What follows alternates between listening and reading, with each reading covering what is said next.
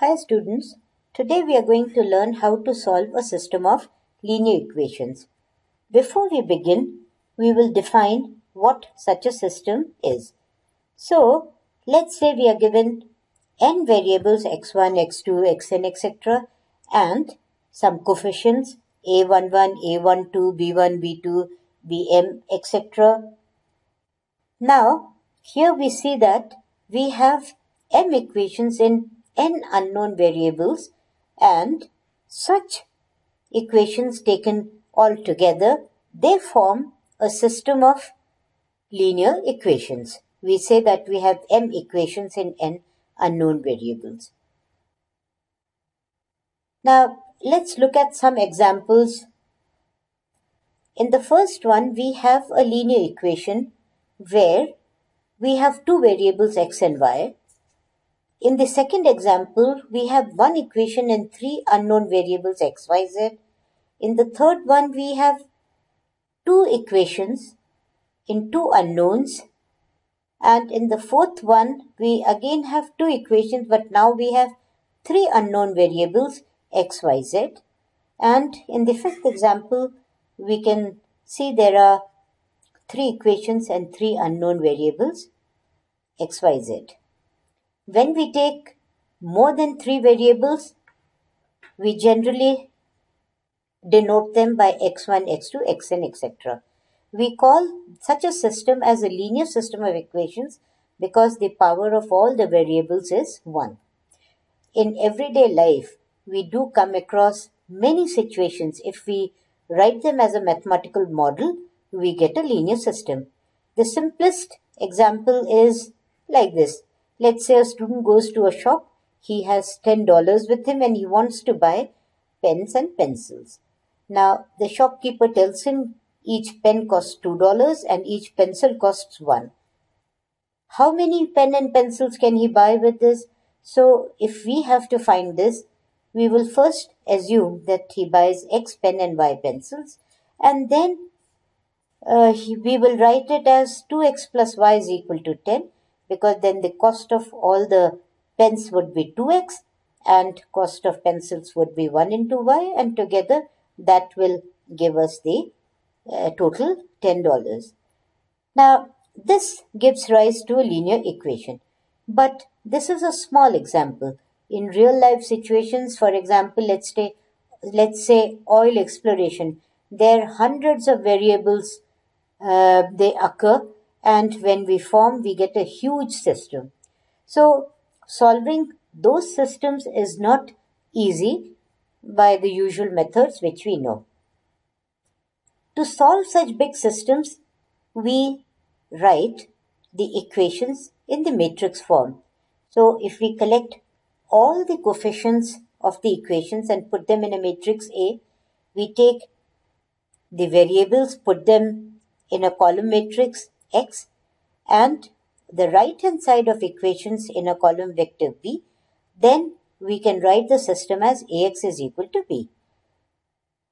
When we solve a system, we want to find the values of all the unknown variables which satisfy the equation simultaneously. Let's see an example here. So we have a system of equations in two unknowns x and y and if we pick up the coefficients, we can see that here we have 2, 4, 3 and minus 1 as the coefficients. We put them in this matrix A.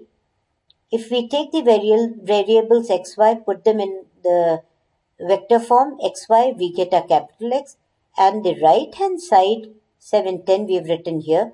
Now this gives us our AX is equal to B. If we open this matrix on the left hand side, if we multiply them and equate to the right hand side, we will get our equations back.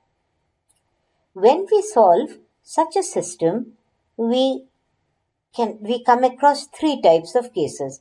First is the system has a unique solution. We get the values of our variables and only one solution. Such solution exists which is unique or we have infinite solutions or we have no solution. This is easily understood by these examples. Let's say we are given this system x minus 2y is equal to 5 and 2x minus y is equal to 1. When we solve this using our old method of solving simultaneous equations, we'll see that this gives us x is equal to minus 1 and y is equal to minus 3. Geometrically, it means that we have two lines because each equation represents a line. If we plot them, we see that both the lines are intersecting at a point.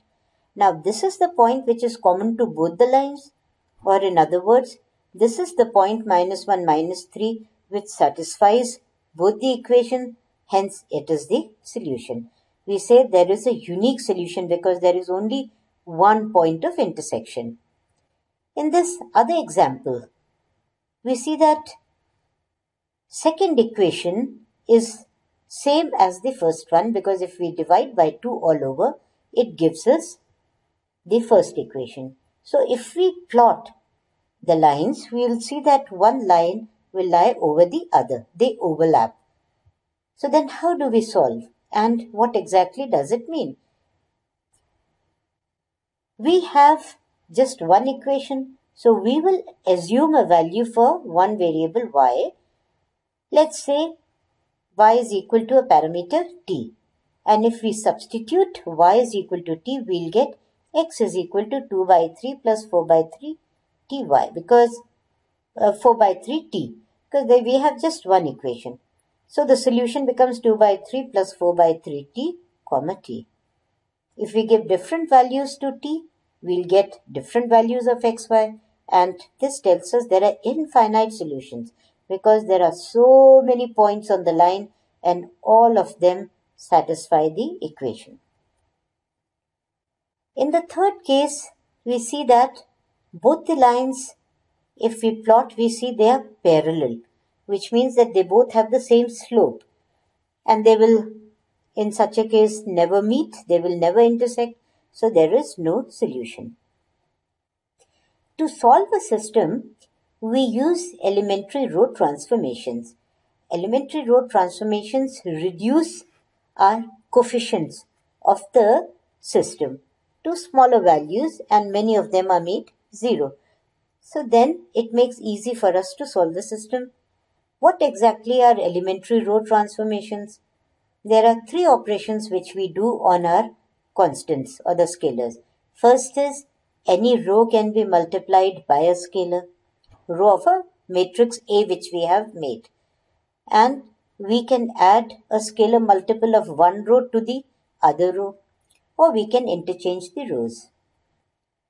To solve the system, we first method we use is Gauss elimination method. This is the best way for finding the solution of the equations and for this we have to reduce the system ax is equal to b in the row echelon form. Now what is row echelon form?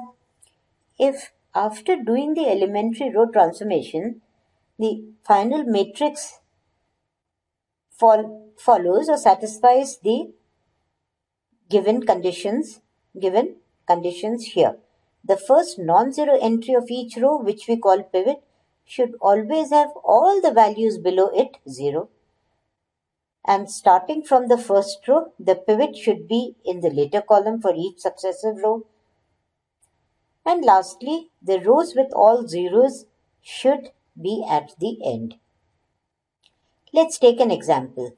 So we are given a system of equations in three unknowns x, y, z and we want to find the values. So first thing we do is we will take the coefficients 2, 4, 6 and 1, minus 1, 1, 3, 2, 5 and write them in the matrix. Then along with that we write the coefficients of the right hand side 253. This gives me an augmented matrix AB. We will now solve this. So we'll do elementary row transformation.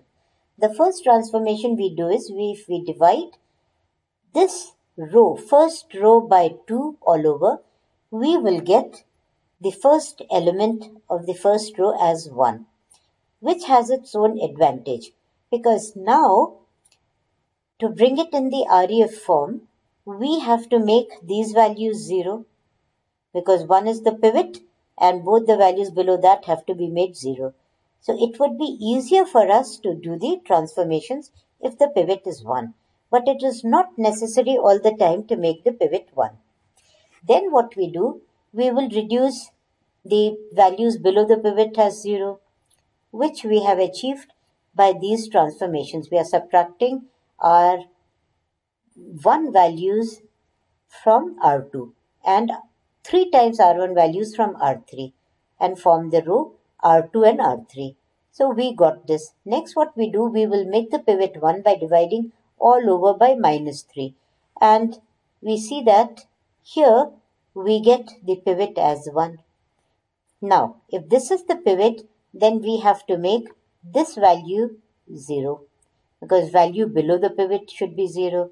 We do that by taking the transformation R3 is R3 by R3 minus R2. So now with that this value also became 0. This matrix we see is in the REF form. Why? All three conditions are satisfied. We start with the first row. The first non-zero entry is 1. Then come to the second row. In the second row, the first non-zero entry is again 1 and the value below both these non-zero entries are 0. That is value below this one are all zeros, the values, and the value below this pivot is 0. Now, if you underline the pivot, we see that they form steps. So we get a step formation. Pivot in this row is this, pivot in the second row is this one, and pivot in the third row is 1 by 3. Now we do back substitution. How do we do back substitution? For that, we will use this final matrix. First column is associated with the variable x, second with the variable y, and third column with the variable z. So we'll start with this. We'll multiply 1 by 3 by z is equal to 4 by 3. Next equation which we form is y plus 2 by 3z is equal to minus 4 by 3 and the third equation we form is x plus 2y plus 3z is equal to 1. So last equation gives us z is equal to 4. We'll put it in the second equation which gives us y is minus 4 and the third one gives us x is equal to minus 3. So we get the solution is minus 3 minus 4 4. Let's say we have to solve this system. Again we started by forming the augmented matrix Pivot is fortunately 1. Now we have to make this value 0 and we want to make this value 0. So we will take the transformations. R2 is R2 plus 4R1 and R3 is R3 plus minus 3R1. This will make these two values 0 and this is what we get. Here you see that the second row has reduced to zeros for the uh, REF form, the row with all zeros should be at the end, so we will interchange R2 and R3. Now this matrix is in the REF form. And when we back substitute, we'll get minus 1 into y is equal to minus 7, which means y is 7. And we get the second equation as x plus 2y is minus 3. Substitute y is equal to 7 and we'll get the solution minus 17 7. Look at this example. Here when we form the augmented matrix AB for such a system now we have two equations in three unknowns x, y, z. So we write the augmented matrix. We have collected all the coefficients and formed this. Pivot is again 1. So we have to make this value 0. Now we take the transformation R2 is R2 minus 2R1 and that gives us this matrix. So first row, this is the pivot. Come to the second row. In second row, 5 is the pivot. And third row, is not there. The third column does not have a pivot. So if I divide R2 by 5, it's not necessary. We can leave 5 as it is and solve the system. Here we did. So if we divide, we'll get the matrix as this. First column has the pivot 1. Here we have pivot 1. In the second column, we have pivot as this one. And third column, there's no pivot. So the uh, variable or the unknown variable z associated with this becomes the independent variable. So we will take z is equal to k, some parameter, and do back substitution. This will give us x is 3 minus 27 by 5k, y is 1 plus 6 by 5k, and z is equal to k. For different values of k, we get infinite solutions. So the first example we did was we had a unique solution. Here we have infinite solutions. Let's say a problem where we don't get any solution. So if we write our augmented matrix AB and reduce it to the REF form by taking the transformations R2 is R2 minus 3R1, R3 is R3 minus 4R1, we will get this as the matrix. One thing which we notice here, this is 0, this is 0, but right hand side is not 0. Now, this means the equation is not satisfied because if we form the equation 0 into x plus 0 into y, we should get a 0. But we are getting minus 3. So such a system does not have a solution. So, in general, whenever the last row in the REF form has all zeros or is of the form 0, 0, 0, 0, then the solution exists and there are infinite of them but whenever the last row in the REF form is of the form 0, 0 and right hand side is a constancy, no solution exists. Thank you.